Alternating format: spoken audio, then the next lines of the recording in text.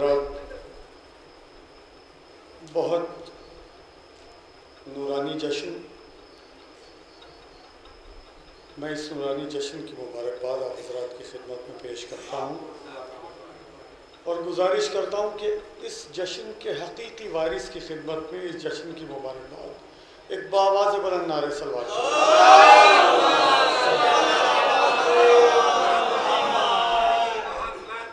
जो लोग बाहर बैठे हैं उन्हें मैं बता दूँ कि महफिल अभी शुरू हो रही है, ख़त्म नहीं हो रही है। आ जाएँगे हादी चैनल के हादी टीवी के कैमराज लगे हैं। एक आधी फ़ोटो उनकी भी आ जाएगी, हमारे साथ ज़रा अच्छा लगेगा। आइए थोड़ा सा, दो चार लोग आ जाएँ तो अच्छा लगेगा। अरे जवान, कैसी बातें कर रहे हो? आ जाओ। एक सलवार पढ़े आप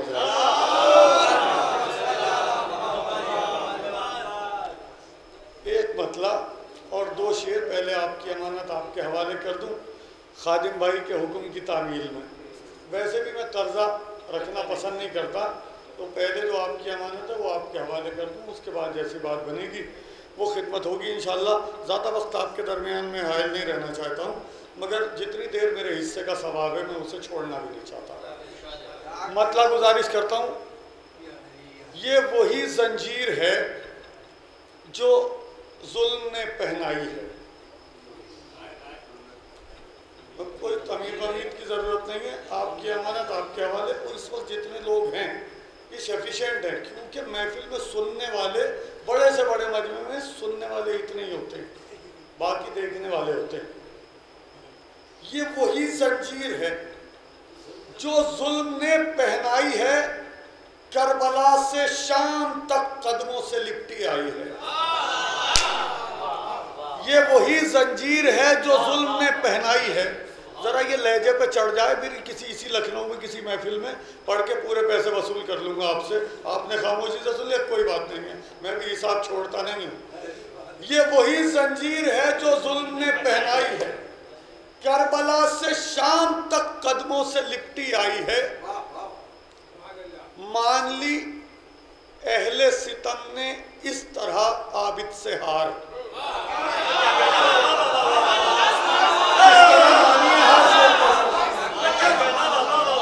मान ली अहले सितम ने इस तरह आबिद से हार पाँव पकड़े पहले बेड़ी बाद में पहना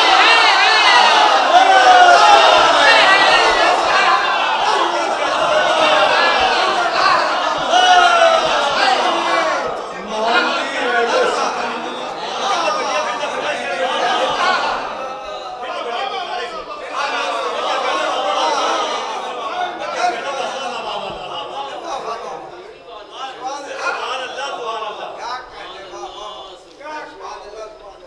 मान ली अहले सितम ने इस तरह आबिद से हार पाँव पकड़े पहले बेड़ी बाद पहनाई है। आपके खुतबे से कब लर्जा फ़कत तख्ते यजीद?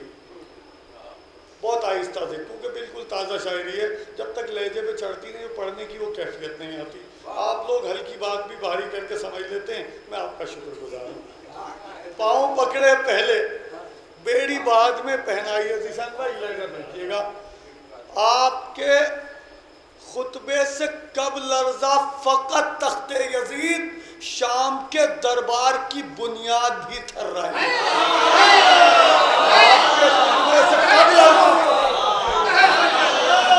आपके खुतबे से कब लर्जा फ़कत शाम के दरबार की बुनियाद भी थर रही है। आपके खुतबे से कब लर्जा फ़कत तख्ते यजीद, शाम के दरबार की बुनियाद भी थर रही है। शाम के दरबार की बुनियाद भी थर रही है। ये कुछ कतार से बिल्कुल ताज़ा मैं इनको पढ़ना चाहता हूँ। क्योंकि ये जो दरबार है, अक्सर मैंने यहाँ हाजिरी का शरफ मुझे हासिल हुआ है। वो सामीन इतने ही मिलते हैं मुझे जब भी मैं पढ़ता हूँ। मगर दस बीस हज़ार में भी पढ़ने की वो कैफियत नहीं मिलती। तो यहाँ मुख्तसर मजमे में बहुत अच्छा लगता है। और कुछ बरकत इस आस्थाने की ऐसी है जो ताज़ा शायरी मैंने कभी यहाँ पढ़ के शुरुआत की है। तो वो मैंने बहुत जगहों पे पढ़ा तो यहाँ इस आस्थाने की बरकत जब शामिल हो जाती है तो शायरी में और कैफियत आ जाती है। तो कुछ ताज़ा शायरी है, वो मैं चाहता हूँ कि आस्तानी की बरकत यहाँ से शामिल हो जाए और बात हो जाए। इमाम सज्जाद ने जब दरबार यजीद में कदम रखा तो यजीद ने पूछा, तुम्हारा नाम क्या है? इमाम अली मकाम ने फरमाया, मेरा नाम अली है। यजीद ने कहा, वो जिसके सीने पे बर्छी हमारे सिपाहियों ने मारी थी, वो कौन था? था वो भी अली था। जिसके उर्मला ने तीर मारा था, वो कौन था? अब वो भी अली था। तो यजीद ने घबरा के पूछा तो कितने अली थे? कितने अली थे? इमाम सज्जाद ने जो जवाब दिया, मेरी तरफ़ से कुछ नहीं है। कोई शायरी नहीं है, जो जवाब इमाम अली मकाम ने दिया यजीद को, वो जवाब कलम बंद कर दिया, पसंद खातिर हो तो दुआओं से नवाजिएगा। पहली मरतबा पढ़ रहा हूँ, इसके बाद एक और ताज़ा कथा और जो मौला का हुक्म होगा, यहाँ से थोड़ा सा मूड बना दीजिए, कुछ कैफियत के साथ खिदमत हो जाए। ये हादी चैनल के कैमराज लगे हैं, ये हर चीज़ को रिकॉर्ड कर रहे हैं और हमारे पढ़ने को कम, आपके सुनने को ज़्यादा रिकॉर्ड किया जाता है, क्योंकि जिसको आप अच्छा सुनते हैं, उसे ही माना जाता है, उसने बढ़िया पढ़ा। ये फाइनल बात बता रहा हूँ आपको। जिसको आप अच्छी दाद देते हैं, उसका पढ़ना अच्छा माना जाता है। वरना हम कितने ही अच्छे शेर पढ़ें, आप अगर दाद नहीं देंगे तो बिल्कुल नहीं माना जाएगा ये रिकॉर्ड कि हमने अच्छा पढ़ा। तो हमारी शायरी की लाज जो है, वो आपके हाथ है। इमाम सज्जाद ने क्या जवाब दिया यजीद को जब उसने पूछा कि कितने आदि है? इमाम अली मकाम ने फरमाया, हैदर के दुश्मन की नींद उड़ाने को। पता नहीं कहा होंगे आप। हैदर के खाली मुंडी ना हिलाइए, ऐसा लगता है जैसे मिस्ड कॉल मार रहे हैं। हैदर के दुश्मन की नींद उड़ाने को, जरा जागिएगा। हैदर के दुश्मन की नींद उड़ाने को, जो रखा है मेरा नाम, वही रखते।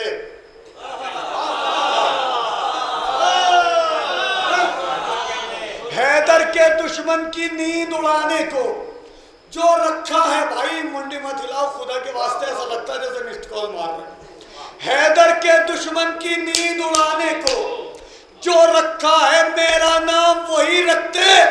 सौ बेटे भी देता कर अल्लाह उन्हें, मेरे बाबा सबका नाम। अली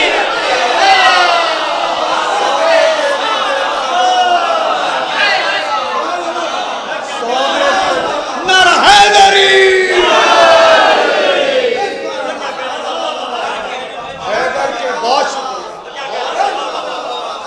महफिल हैदर के दुश्मन की नींद उड़ाने हैदर के दुश्मन की नींद उड़ाने हैदर के दुश्मन की नींद उड़ाने जो रखा है मेरा नाम वही रख।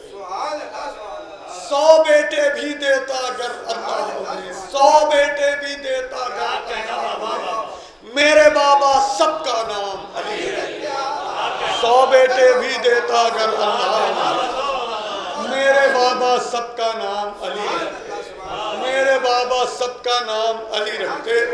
ये कथा दिया समाप्त करता हूँ। खसूसी तौर पे आज के जश्न का पहला तोहफा इसका अक्सर तालब इम की जानब से। और यहाँ से थोड़ा सा ऐसा मूड बना दीजिएगा कि कुछ और खिदमत करने का हौसला मिल जाए। ये बिल्कुल ताज़ा कथा है और आप यकीन मानिएगा, मैं पब्लिक वब्लिक देख के नहीं पढ़ता हूँ। और मेरा यकीनी तौर पे दांत से और मजमे से पेट भरा हुआ है बिल्कुल।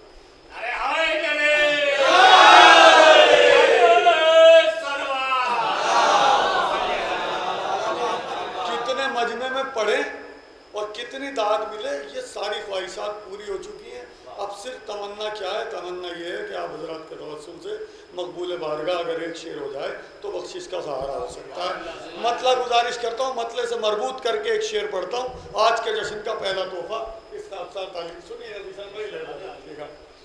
एजाज चचा, मैं इकलौता भतीजा हूँ, सब भांजे बाकी। आप समझ लीजिएगा, पूरी दुनिया आपको मामू कहती है, अलावा फकरी मेरडी के फकरी मेरडी सिर्फ़ आपको चचा कहता है ये इकलौता भतीजा आपके तवसल से ये शेर सामाइन तक पहुंचाता है। अगर हालात से जज्बात टकराते तो क्या होगा जरा जागिएगा जरा जागिएगा जरा जागिएगा। अगर हालात से जज्बात टकराते तो क्या होता? जो ये रूबाह आहट शेर की पाते बहुत मूड में पढ़ रहा हूँ खुदा की कसम। जो ये रूबाह आहट शेर की पाते तो क्या होता? खुदा की कसम कुछ साल पहले एक मैंने अखबार में खबर पढ़ी कि गुटके पे पाबंदी लग गई है। मैं बड़ी टेंशन में आ गया मैं खाता नहीं गुटका। मगर मुझे ये रहा यार, इतनी फैक्ट्रीज चल रही थी, इतने लोगों के कारोबार थे, करोड़ों रुपए के बिज़नेस थे, लोगों ने प्लांट लगा रखे थे, समझे कितने लोग मजदूरी करते थे, उनका रोज़गार होगा, कितने घरों के चूल्हे मुतासर होंगे, एक गुटके पे पाबंदी लगने से क्यों लग गई? बहुत टेंट, शायद तो दुनिया का दर्द रखता ना, सारे जहाँ का दर्द हमारे जिगर में है शायर की कैफियत है। तो मैं बहुत देर तक सोचता रहा इस बात पे, एक जगह एक महफिल में जाके राज खुला कि गुटके पे पाबंदी क्यों लगी? लोग गुटका खा के मुँह बंद कर लेते शायर को दाद नहीं देते। ये ज़िक्र में हायल होता है इसलिए पाबंदी ये ज़िक्र अहल में गड़बड़ करता इसलिए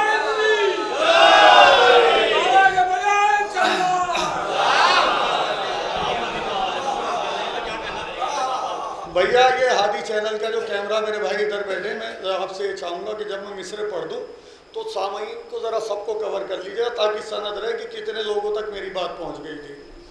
अगर हालात से जज्बात टकराते तो क्या होता? अगर हालात से जज्बात टकराते तो क्या होता? जो ये रूबाह आहट शेर की बातें तो क्या होता? जब एक कैदी के आने से कयामत हो गई बर्पा अगर दरबार में अब्बास आ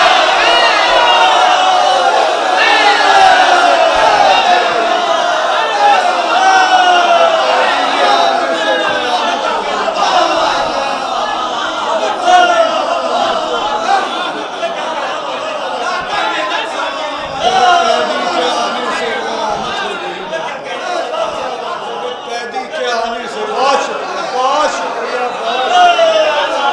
बहुत शुक्रिया जो ये रुपा भैया आप लोग भी जरा सा हाथ उठा दें कम से कम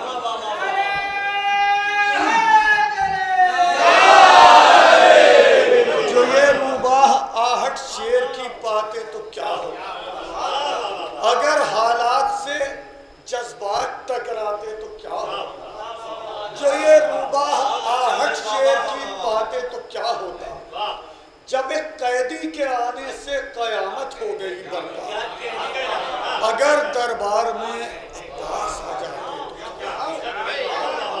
जब कैदी के आने से कयामत हो गई बर्पा अगर दरबार में अब्बास आ जाते तो क्या होता? अली की शेर दिल बेटी। ये जो लोग शाम की ज़्यारत से मुशर्रफ हैं उन हजरात की नज़र करता हूँ और इस दुआ के साथ कि जो लोग नहीं जा पाए हैं, परवरदिगार वो हालात पैदा करे कि हम सब लोग शाम शहजादी जैनब शगैरा जैनब के रोज़े से फैज़याब हो, एक अजीब कैफियत में पेश करना चाहता हूँ। बात आप तक पहुँच जाएगी और आप महसूस कर लेंगे कि मैं क्या कहना चाहता हूँ। अली की शेर दिल बेटी, रसन बस्ता हो तुम लेकिन। अली की शेर दिल बेटी रसन बस्ता हो तुम, लेकिन तुम्हारा हौसला हर कैद से आज़ाद है, जैनब। अली की शेर आपकी अमानत आपके हवाले, जैसा सुनना चाहे सुनिएगा। जिन मिसरों पे मैंने आपसे दाद मांगी, उन पे आपने दे दी। अब मैं बगैर तमीज और बगैर किसी गुफ्तगू के आपके अमानत आपके हवाले करता हूँ। जहाँ बोलना चाहे बोलिएगा, नहीं तो कोई बात नहीं है। कहीं और जाके पढ़ दूँगा, कोई मसला नहीं है। मेरे हिस्से का जो सवाब है, उसका रिकॉर्ड जो है वो बराबर से मेंटेन होता रहेगा। अली की शेर दिल बेटी रसन बस्ता हो तुम लेकिन तुम्हारा हौसला हर कैद से आज़ाद है, जैनब।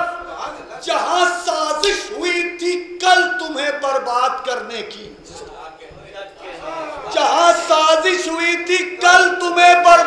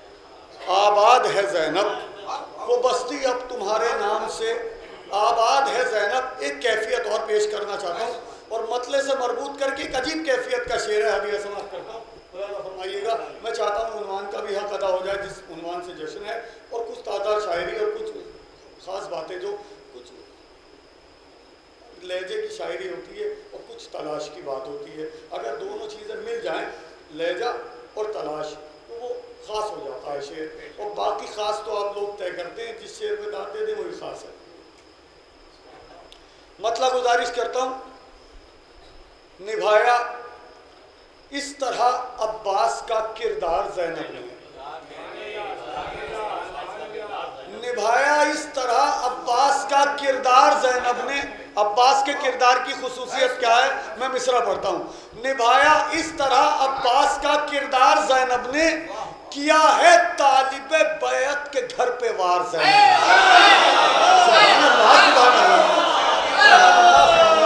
बहुत मूड में पढ़ रहा हूँ खुदा की कसम।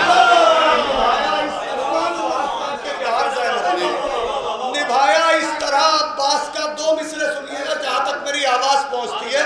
कुछ लोग पता नहीं कुछ शौकिया लोग भी कभी उनकी कैफियत मूड में ये शामिल रहता कि फर्श पे बैठ के नहीं सुनना कहीं टहल के सुनेंगे कहीं और बैठ के सुनेंगे।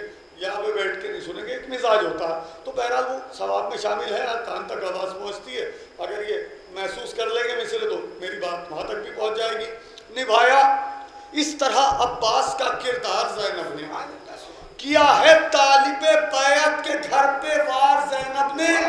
मोरिस मोरिस देख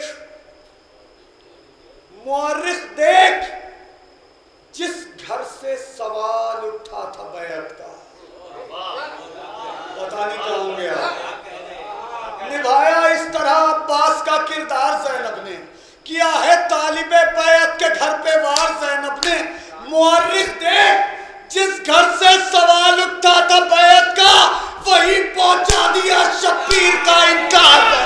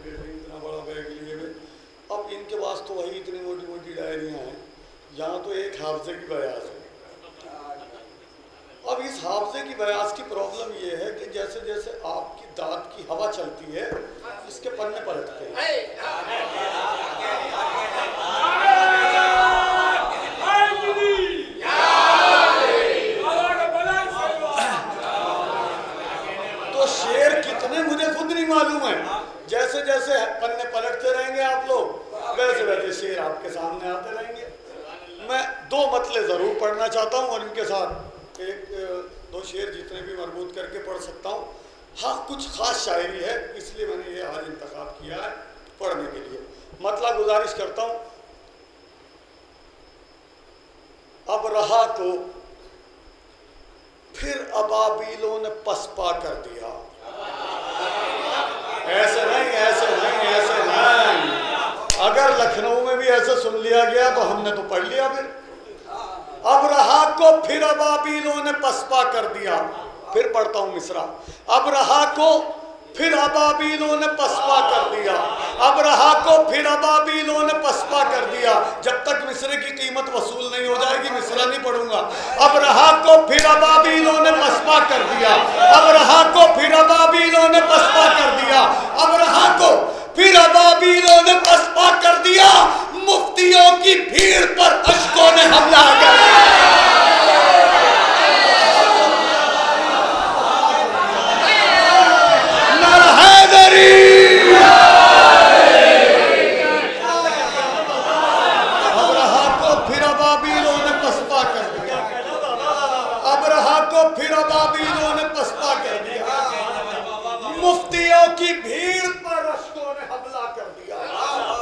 बीवियों की भीड़ पर अशकों ने हमला कर दिया।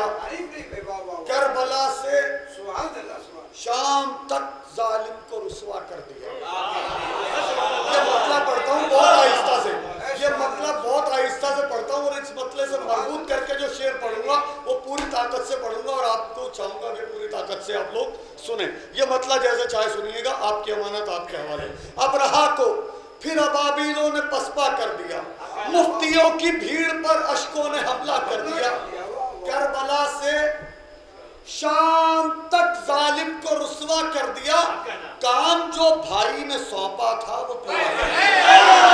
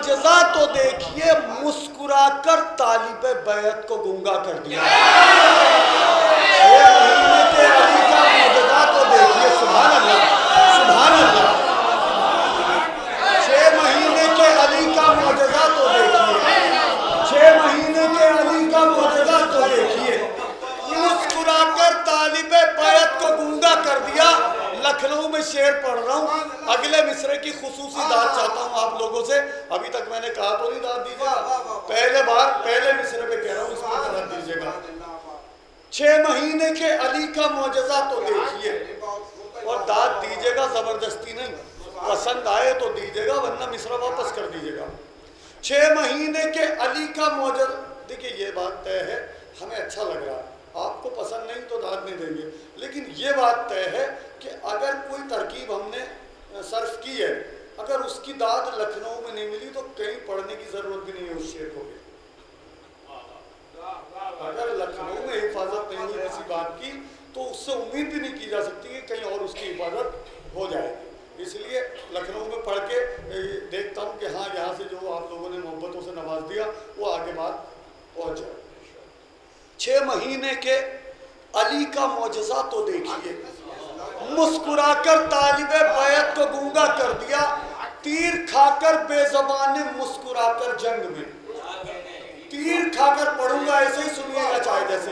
तीर खाकर बेजबाने मुस्कुरा कर जंग तीर खाकर बेजबाने मुस्कुरा कर जंग में तीर खाकर बेजबान मुस्कुरा कर जंग में मौत के नोहे को ज़रूरत का कसीदा कर दिया।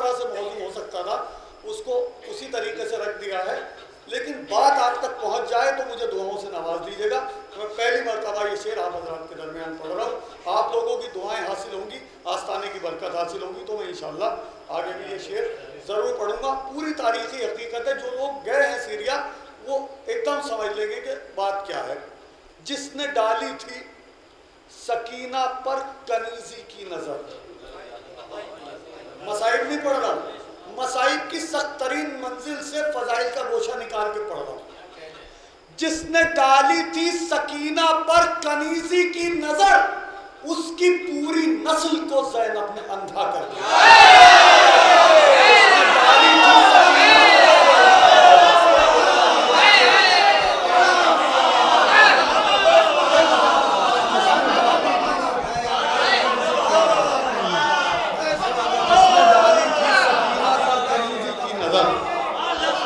दरबार यजीद से मुतसिल जो मस्जिद है, जो लोग जियारत से मुशर्रफ है, जहाँ से बार बार अजान हुई, बेवक्त अजान जो इमाम सज्जाद के खुतबा रोकने के लिए, जिस मस्जिद से अजान की सदा बुलंद हुई थी, उस मस्जिद में आज भी वो नस्ली अंधे पाए जाते हैं। मैं खुद उनको देख के आया हूँ, जो लोग हैं, गवाह होंगे और देखेंगे, आप कभी जाइएगा तो देखिएगा, नस्लन बाद नस्लन अंधे पैदा होते हैं। शहजादी जैनब ने कहा था कि मेरी बच्ची को इस नज़र से देखने से पहले तू अंधा नहीं हो गया। बस एक जुमला शहजादी ने फरमाया और वो नस्लें आज तक अंधी पैदा हो रही हैं और क़यामत तक होती रहेंगी। जिसने डाली थी सकीना पर कनीजी की नज़र। जिसने डाली थी सकीना पर कनीजी की नज़र। उसकी पूरी नस्ल को जैनब ने अंधा कर दिया। दो चार शेर रह गए ये भी सब पढ़ देता हूँ। तो हफ़्ते की पूरी बयास खोल दिया। उसकी पूरी नस्ल को जैनब ने अंधा कर दिया। खुद वो काफिर है। पता नहीं कहा होंगे आप खुद वो काफिर है जो उसके बाप को काफिर कहे।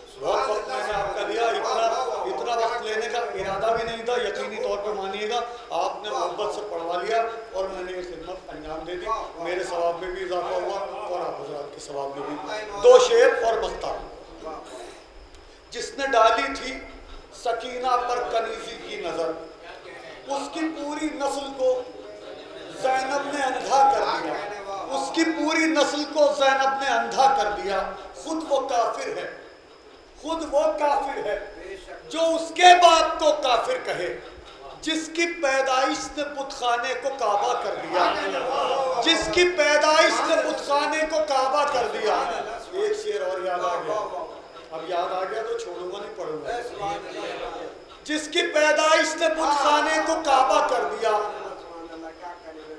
जिसकी पैदाइश ने बुतखाने को काबा कर दिया। ऐसा लगता है, ऐसा लगता है, कैसे पढ़ू? मिसरा समझ नहीं आ रहा।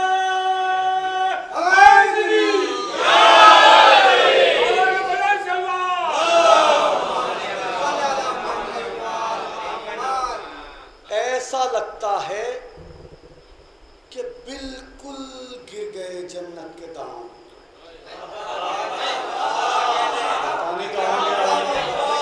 सोच रहा था मिश्रा पढ़ू तो कैसे ऐसा लगता है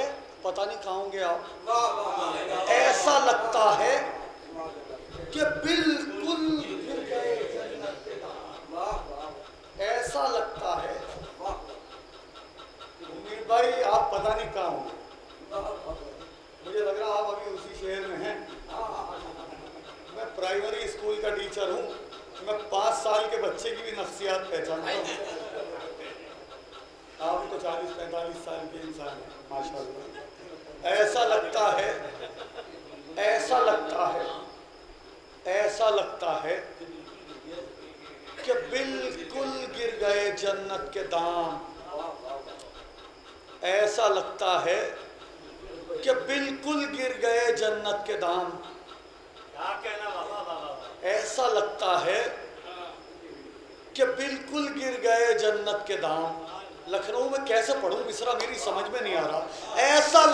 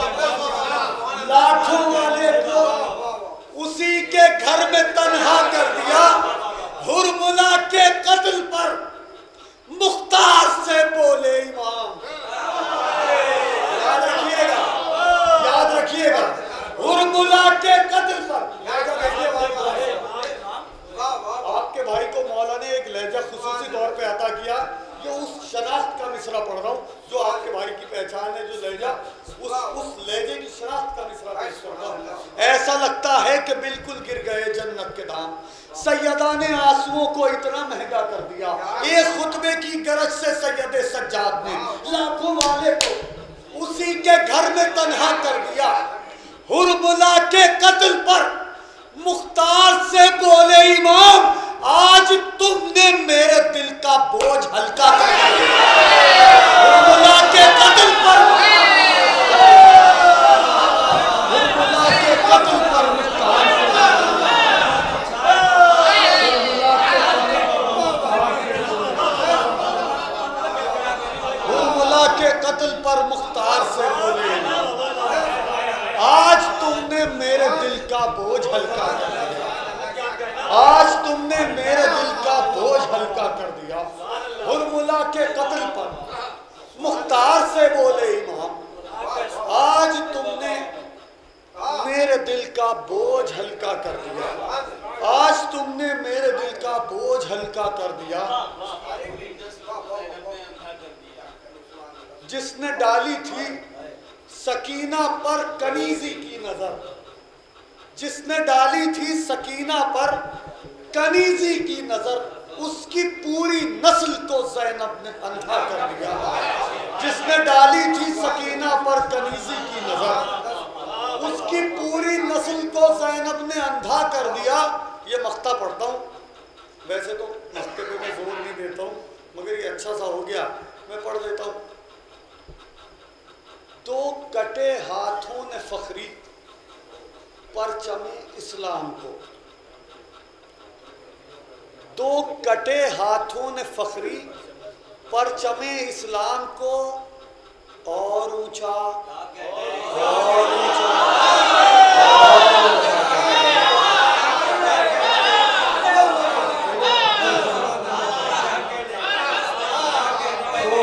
कोई फरमाइश है क्या? मैं इतनी देर से महसूस कर रहा हूँ, कोई फरमाइश है। बताइए क्या होगा आपकी क्या फरमाइश है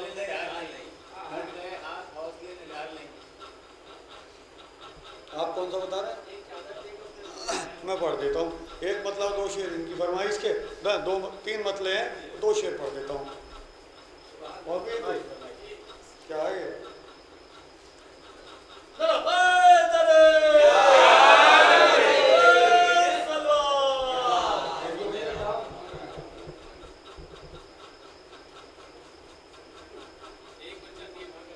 एक बच्चा तीर खाकर हल्क पर हंसता रहा।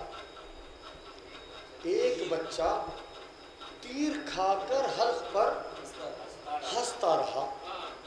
फितरतन रोने की मंजिल थी, मगर हंसता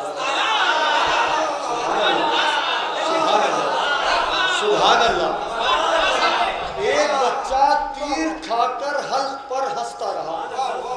अब ये 25 साल पहले के मिसरे इन्होंने याद दिलाया। एक बच्चा है?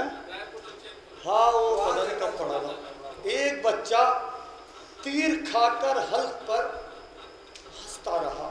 जब मैंने ये पढ़ा था बहुत चिल्ला के पढ़ा था तो बहुत आहिस्ता से पढ़ता हूँ। एक बच्चा तीर खाकर हल्क पर हंसता रहा।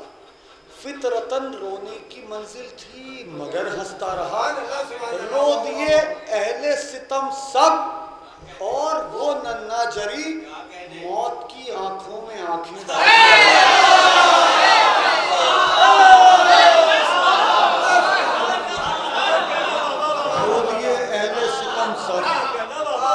और वो नन्ना जरी। मौत की आँखों में आँखें डालकर हंसता रहा। भाई पहले मैं इनकी फरमाइश पूरी कर दूँ फिर आपकी क्योंकि जो शेर आपने बताए हैं उनके बाद मैं कुछ पढ़ नहीं पाऊँगा। मैं हदिया समाप्त करता हूँ वो बेमिसाल है। उसकी कोई मिसाल नहीं। वो बे अब मुझे पता होती इतनी फरमाइश तो वो फरमाइश ही पढ़ देता। पहले आप लोगों ने बताया नहीं। वो बेमिसाल है, उसकी कोई मिसाल नहीं। कटे हैं हाथ, मगर हौसले निढाल वो बेमिसाल है, उसकी कोई मिसाल नहीं। कटे हैं हाथ, मगर हौसले निढाल नहीं। जमाने वालों अलमदार ऐसा होता है अलम की फ़िक्र है हाथों का कुछ मलाल नहीं। जमाने वालों जमाने वालों अलमदार ऐसा होता जमाने वालों अलमदार ऐसा होता है अलम की फ़िक्र है हाथों का कुछ मलाल नहीं अभी से भाग उठी क्यों यजीद की फौजें ऐसे ही पढ़ूँगा अभी से भाग उठी क्यों यजीद की फौजें अभी से भाग उठी क्यों यजीद की फौजें अभी तो चेहरे अब्बास पर जला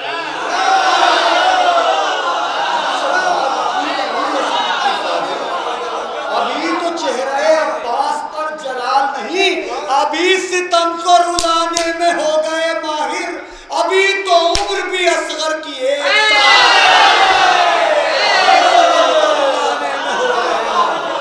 अभी सितम को रुलाने में हो गए माहिर अभी तो उम्र भी बहुत सारे शेर हैं सिर्फ़ दो शेर पढ़ता हूँ उसके बाद मेरे भाई की फरमाइश है ये हदिया समाप्त करके आप इजाज़त चाहता हूँ अभी सितम को रुलाने में हो गए माहिर अभी तो उम्र भी असगर की एक साल नहीं दो शेर हैं शेर बहुत सारे हैं बट सिर्फ़ दो शेर पढ़ूँगा जो उससे उलझे जो उससे उलझे पानी पीजिए मैं कोई रोक टोक नहीं लगाता तो एताज से पूछिए अभी ये गवाह है मैंने अपने शहर में मेरठ में माइक संभाला और लड़कों से कहा कि सब सामीन को इतनी देर में कोल्ड ड्रिंक पिला दो जितनी देर में पढ़ो। ये गवान मैंने कहा, इतनी देर सबको कोल्ड पिलाओ, जितनी देर में माइक पे रहूँ। जो डिस्टर्ब होगा, वो मेरा। इम्तहान भी था और हौसला भी था। मौलाना मेरी खिदमत कबूल कर ली तो मैं चाय, पानी, इन चीज़ों पर कोई रोक टोक किसी कीमत पर नहीं लगाता वो मेरे हिस्से का जो सवाब है वो ना पानी से रुकने वाला है, ना चाय से रुकने वाला है, ना कोल्ड ड्रिंक से रुकने वाला है। और अगर शेर में जान है ना तो अगर गुटका भी होगा मुँह में, तब भी मैं दाद ले लूँगा। और कोल्ड ड्रिंक हलक में होगी तो बाहर आ जाएगी, दाद मिल जाएगी।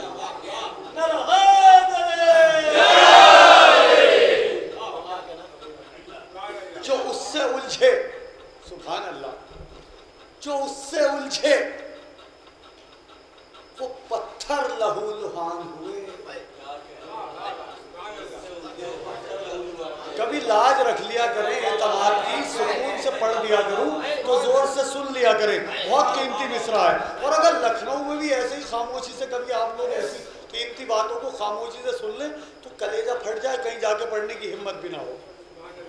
जो उससे उलझे, जो उससे उलझे वो पत्थर लहू लुहान हुए।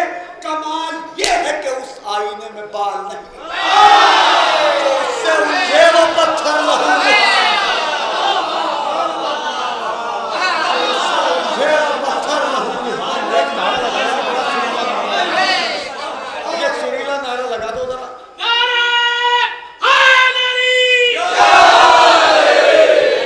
जो उससे उलझे। पत्थर लहू लुहान। कमाल ये है कि उस आईने में बाल नहीं। अली के लाल ने, अली के लाल ने खींची है वो हदे फासिल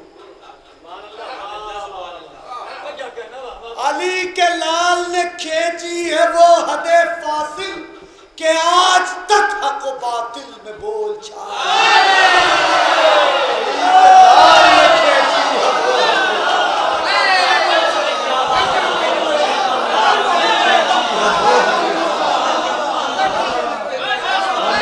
लाल ने खींची है वो कि आज तक हक व बातिल में बोल छा अली के लाल ने खींची है वो हदे अली के लाल ने खींची है वो हदे कि आज तक हक व बातिल में बोल चाल कि आज तक हक बातिल में बोल चाल अली के लाल ने खींची है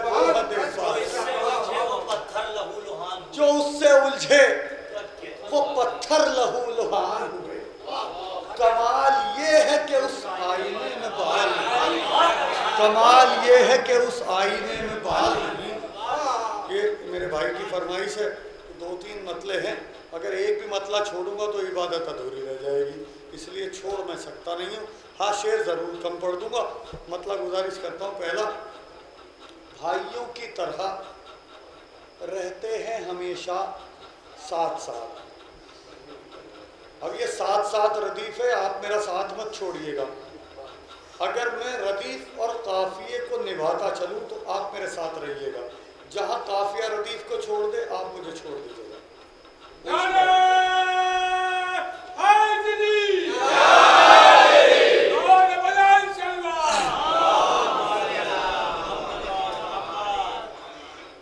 भाइयों की तरह रहते हैं।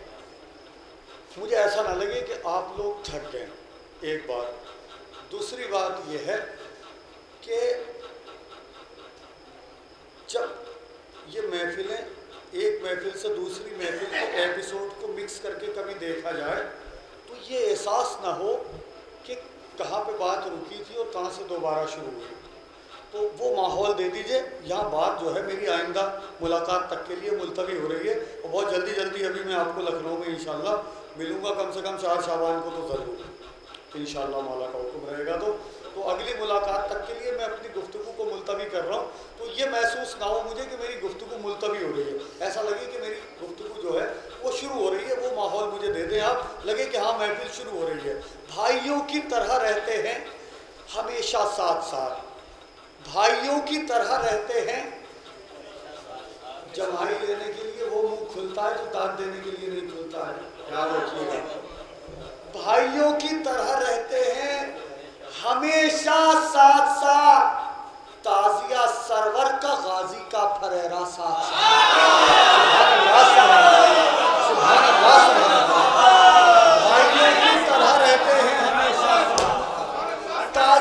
तरह का गाजी का फरेरा साथ साथ। फिर पढ़ता हूँ मतलब मौत का, प्यास का नोहा। प्यास का नोहा। वफाओं का कसीदा साथ साथ।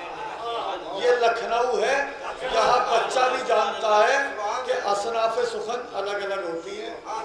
नौहा अलग सिंफ है और कसीदा अलग सिंफ है। नौहा और कसीदा कभी साथ नहीं हो सकते। नौहा अलग रहेगा, कसीदा अलग रहेगा।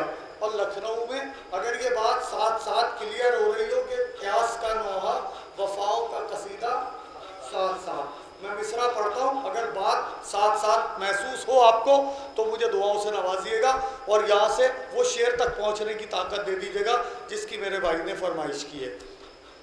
भाइयों की तरह रहते हैं हमेशा साथ साथ ताजिया सरवर का गाजी का फरेरा साथ साथ प्यास का नोहा, वफाओं का कसीदा साथ साथ तशनगी होठों पे और चुल्लू में दरिया साथ।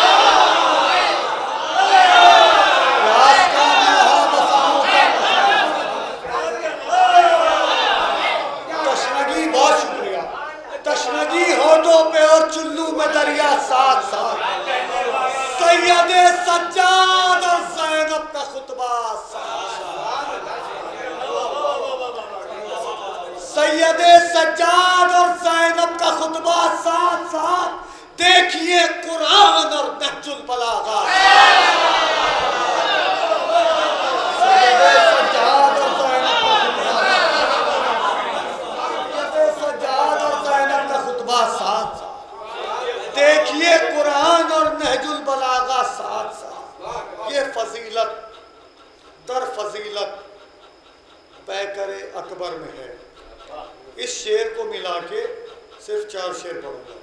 आज की हद में ये आखिरी गुफ्तु नहीं, एक पांचवा शेर भी पढ़ दूँगा।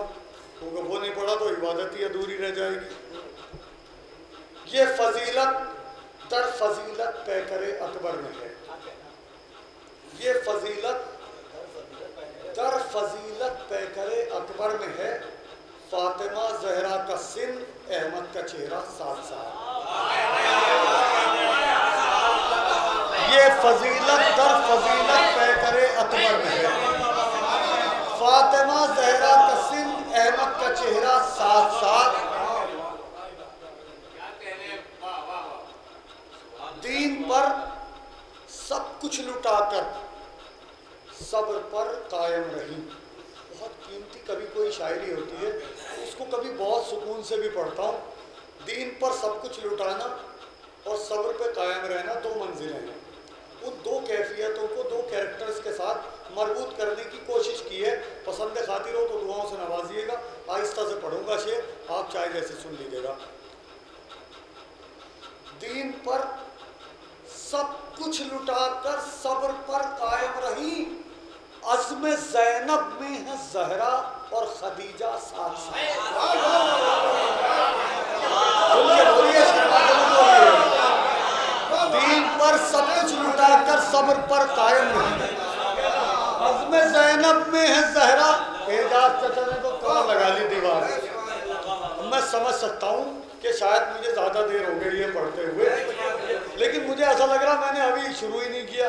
मैं लिख रहा हूँ, फजाइल अली के सदियों से मगर वरक अभी सादा दिखाई देता है। है, एक मुआवजे की शक्ल में है। तो मुझे लग रहा, मैंने अभी शुरू ही नहीं की बात। तो मेरे चचा ने टेक लगा ली और लग रहा कि बात जो है वो काफ़ी देर की हो गई है। तो मैं बहुत जल्दी जल्दी अपनी बात को मुकम्मल कर दूँ और गुफ्तु मुलतवी कर दूँ आइंदा मुलाकात तक के लिए। ये फजीलत दर फजीलत पैकर अकबर में है। फातिमा जहरा कसिन अहमद का चेहरा साथ साथ तीन पर सब कुछ लुटाकर सब्र पर कायम रही। अज़म जैनब में है सहरा और खदीजा साथ साथ। आए जब ओनो मोहम्मद कह के भागी फौज शाम। आए जब ओनो मोहम्मद कह के भागी फौज शाम। हो गया हैदर का और जाफ़र का हमला साथ आए जब ओनो मोहम्मद कह के भागी हैदरी आए जब ओनो मोहम्मद कह के भागी फौज शाम हो गया हैदर का और जाफ़र का हमला साथ साथ हो गया हैदर का और जाफ़र का हमला साथ साथ ये वो शेर है जो मेरे भाई ने फरमाइश की है। इनकी फरमाइश आपके हवाले अपनी किस्म का इकलौता शेर। इस तारीखी जश्न का तारीखी शेर आपकी समातों की अदालत और एक शेर, इस शेर को आप जितनी मोहब्बत से सुनेंगे, उसके तोहफे बतौर एक अगला शेर अपनी तरफ़ से गिफ्ट आपको करूँगा। आए जब मोहम्मद कह के भागी फौज शाम। हो गया हैदर का और जाफ़र का हमला साथ साथ